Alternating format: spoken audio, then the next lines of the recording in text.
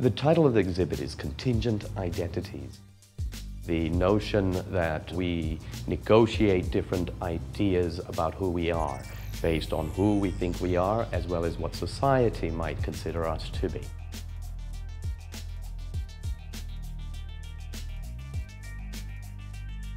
The general body of the work are both paintings and drawings that touch on the human condition.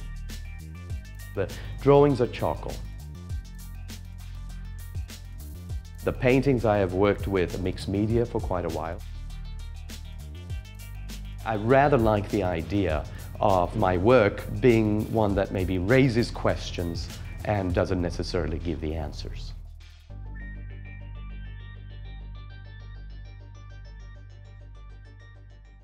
I work primarily with heads.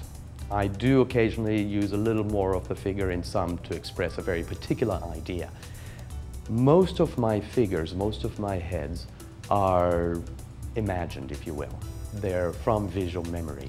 But I distort, I change, I create, I invent, if you will, a new kind of character. So these are all sort of characters that I have thought up to express something in particular have worked tremendously with this idea of the confrontational gaze. The point of view is important to me because at times such as with Profiled, the point of view is looking down. That places the viewer in a position of power. So power is a interplay constantly in both the use of the material as well as the situation of the gaze, the viewer and their position as they observe the work. I also play with the titles tremendously, profiled itself with the parenthesis on the D, having the double meaning of the profile and the profiling, allowing the viewer to bring their interpretations to meaning without necessarily stating what the answer should be. I rather like the idea of my work being one that maybe raises questions and doesn't necessarily give the answers. The flies have raised a lot of questions, yes. So it starts off with just a simple fascination with fly. In the fact that fly is a rather irritating, especially the housefly, irritating presence. When I started on them in the summer, it was maybe about two weeks after that that I watched Obama being interviewed in the White House and he had a problem of a housefly. The president of Iran was also shown struggling with a housefly during a press conference. And I thought to myself in very simple terms, doesn't matter who you are, where you are in society, the housefly is in a way a humbling factor. And I started to think about Kafka's Metamorphosis, the power relationships as well as Wall Street and our changing position in the global society. The charcoal drawings that are observed looking down at figures in suits reference directly Wall Street and the, that humbling factor with the flies. There is disparate, which the figures are moving around aimlessly as if they're not sure where they're going, which is the adjustment that takes place in finding or locating, if you will, your new identity. And the flies themselves in that particular drawing are also more chaotic in their placement. Homogeneity plays directly with that concept of how identity can be homogenized. When you consider prejudices in themselves, it's that idea of sameness, where everybody seems to be same and we categorize them as such. Um, at that point, uh, when one observes a little bit closer, you start to find the most subtle of differences. And it's those subtle of differences that we sometimes go through in processes of recognizing diversity within the otherwise generalized notion of same. So I enjoy that interplay and I like to place the viewer in that position where they have to go through that process. In the large endemic painting, besides having the flies that are waiting to pounce as well, numerous figures holding paper. The paper representing what we consider as the official form of identity. Our presence, our sense of identity is just that, paper. So that's how important paper is to our sense of belonging, our sense of identity, and our sense of security. That concept of sense of security is what I start to play up with with the blank sheets of paper that are being held tightly by these Wall Street guys who are searching for a new meaning of their identity. The burlap I uh, use as a metaphor of cultural meaning of place, being that I am from Zimbabwe. and we utilize that burlap as a utilitarian material growing up. I situate cultural meaning of place with the burlap, and I situate cultural meaning of place with the oil. I also use polymer binder to bind the burlap onto the surface. Uh, that in itself is also a concept.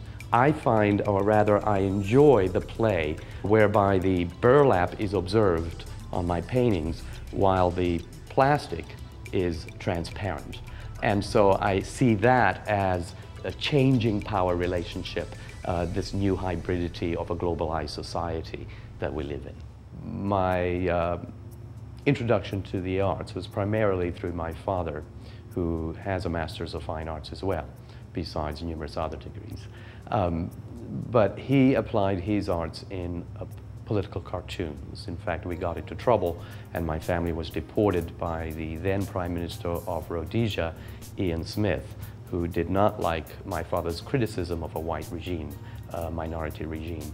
So I grew up with that idea that art is a potential social changer, that it can maybe have a power of expression that gets people thinking about the world around them uh, and the condition that we are in. The time when I found my love for teaching, I mean, my art, my studio involvement is first and foremost. I did not really want to be a teacher. But as part of my graduate studies, I was given a teaching assistantship, meaning that they paid for my tuition and gave me a little salary, so I had to work for it. And so they gave me a class to teach. Um, and I was just thrown a class, I had to go in and start teaching. I got trapped, I got hooked, just like I got hooked with studio. And I found myself there and found that I really enjoyed it. Eye level is precisely the level of your eye. Think of it as the actual height of your eye from the ground. But I think what is important that I, I, I do try to impress, or would like to be able to impress on my students, is the importance of discovering self. And I think drawing, the creative process in general, is one that allows for that. Finding one's own voice and finding one's own place in that idea of the creative process. And so what gives me most joy is not only certainly a student's moment, aha moment, when they begin to discover a way of observing that, that helps them to understand better how to act on it, but more so importantly that they start to find a way to connect with who they are and what they can contribute. That in itself becomes originality. Not whether it's been done or not before, but the fact that it is their voice that is speaking through this visual language. Montgomery College offers, I think, students that opportunity to step into that place of theirs, that voice I was talking about earlier on. And that opportunity as an open enrollment gives everybody that chance. And that mission, I think, is one that far exceeds my experiences in working with selective students. I also particularly enjoy the diversity, being from another part of the world, of students from all over the world. Students with all different interests rather than just a School of Art and Design. So I will have business majors in my classes, I will have nurses and so forth. I find that to be a much more enriching kind of dynamic growth, a potential in education, that we learn from each other and how we apply our ideas are with that broad mind. Being a studio artist and then going to teach is in itself a reciprocal kind of relationship because I am sharing what I know, I'm sharing what I think the students might benefit from, but the students are sharing their engagement, their excitement, and that in itself rubs right back onto me. I go to the studio, I face a drawing I'm working on, and uh, I also hear my own voice talking sometimes. I have to live up to it. And that in itself, I think, is an important part of what we do. Inspiration, the energy that I get in sustaining a work comes from the work itself. If one doesn't feel that they're in the mood, something isn't quite clicking. It's the distractions of life. It's everything else around us.